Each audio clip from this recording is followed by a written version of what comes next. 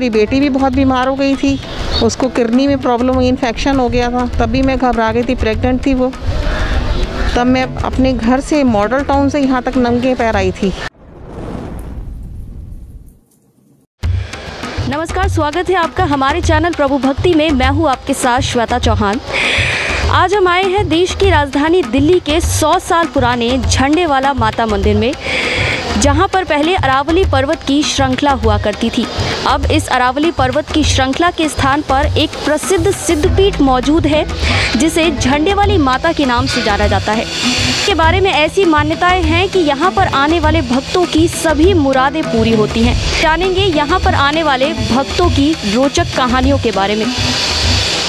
बेटी का जो बेटा है, वो तेरह साल का हो गया। तेरह साल बाद हमारे पास बेटी आई है।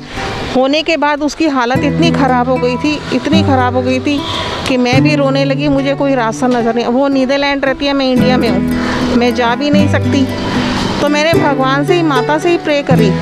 मैंने कहा, माँ, आप ही ने हमें दी है ना, और आप ही संभालो।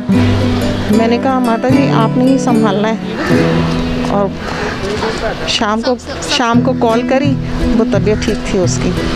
तो विश्वास है ना? तो बिना विश्वास के थोड़ी कुछ चलता है। कहीं तो आदमी विश्वास करेगा ना, या नहीं करेगा?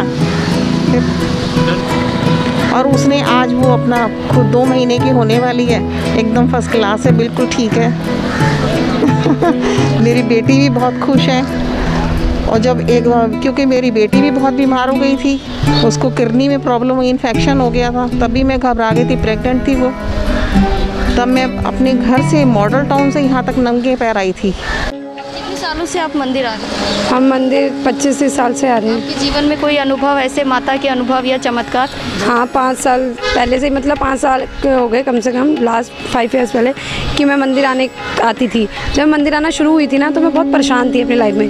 मतलब पिता कि आने का किराया भी नहीं होता था कि भाई कैसे मंदिर जाना। पर मन में था कि बस जाना है, भाई परेशान हूँ, माता रानी है, सुनने की आदमी तो कर तो मैं आना शुरू हुआ और आते आते आज पाँच साल हो गए। इतना अच्छा है कि अगर पहले था कि मैं एक अपने लिए भी किराया नहीं कर पाती थी। आज ज़्यादा नहीं, पर माता रानी की इतना कि अगर अपने साथ कोई आना चाहे मेरे साथ तो मैं उसका भी कर सकती हूँ। मतलब दिन बाय दिन मुझे रिज़ल्ट अच्छा मिलता गया, माता रानी की कृपा होती रही। और बीच में नहीं आती तो लगता है फील होता है कि हाँ कुछ कुछ छूट रहा है, कुछ गलत हो रहा है। जाना चाहिए।